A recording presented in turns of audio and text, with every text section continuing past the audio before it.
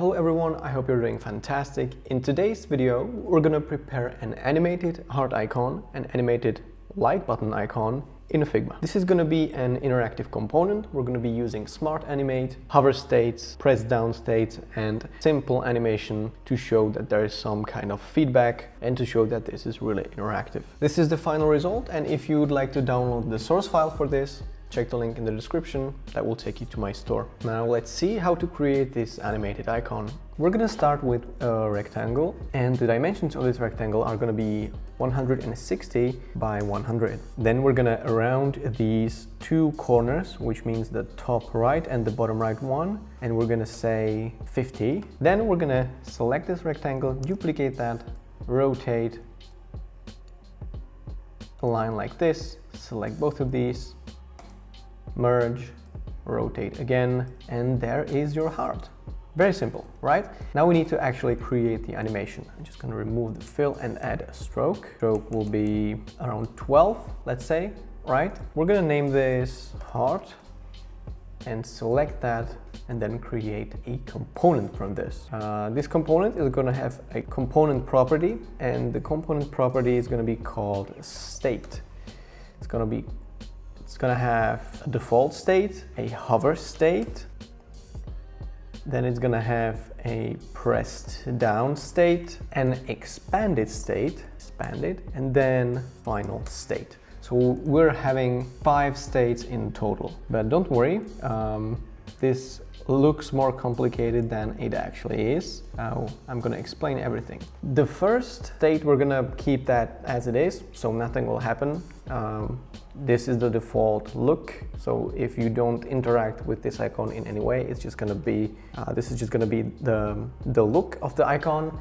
Then we're gonna have a press down state and that will mean that this stroke is gonna turn to like mid-gray, let's say, right? And it's gonna also shrink a little. Um, oops, sorry, this is the hover state. So that means it's gonna turn to also mid-gray, but there's gonna be no shrinking. The press down state is where the shrinking is actually gonna happen. So I'm selecting the heart shape and then pressing K to access the scale tool and with the heart shape in the press down state selected I'm gonna do this to push it a little bit as if further away from the user right? Then we're gonna have an expanded state and this means I'm gonna again take this heart icon with the scale tool selected and I'm gonna do the opposite of this. I'm gonna expand expand the heart icon right? I'm just gonna increase this to give this some more space. And this expanded state, that's gonna be actually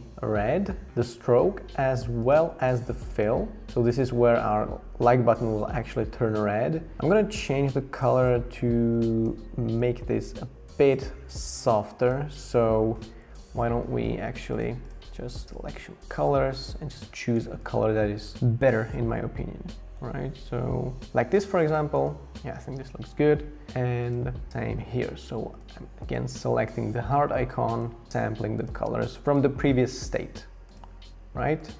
And now we are ready for prototyping. So I'm gonna select prototype panel right here. Select the first default state and click and drag over to connect the first state to the hover state. I'm gonna say that this is gonna be while hovering, change to state hover, and it's gonna be of course smart animate, ease out, and it's gonna be quite quick. So let's go for 80 milliseconds. And then from, uh, from here, I'm gonna do something similar, except I'm gonna say, say while pressing. So while pressing, change to state press down. That makes sense, right? Um, and then I'm gonna continue uh, selecting the press down state, click and drag to this expanded state. And that's gonna be on tap, change to state expanded, or actually it's gonna be touch up or mouse up, state expanded. And then from here,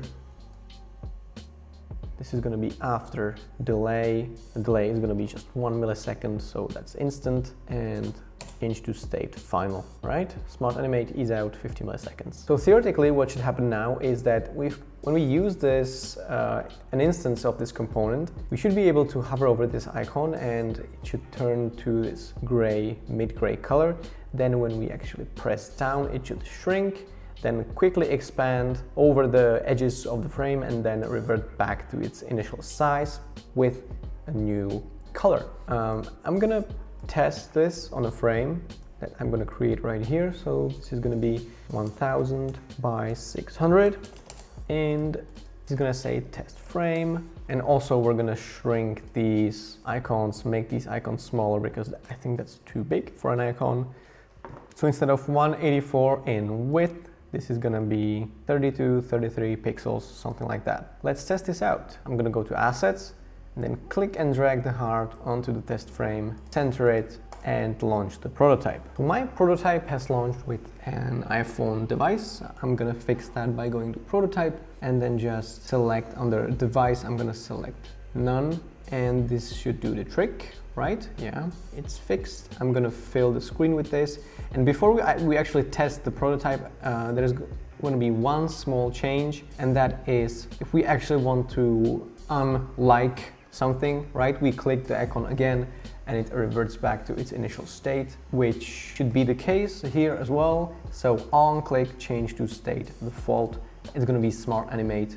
The time is gonna be 100 milliseconds, something like that. And now let's see what we built. So there's an icon, we hover over the icon, it changes to gray.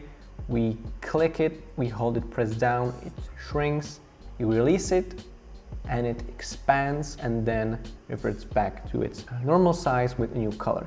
So once again, we unlike, hover, press,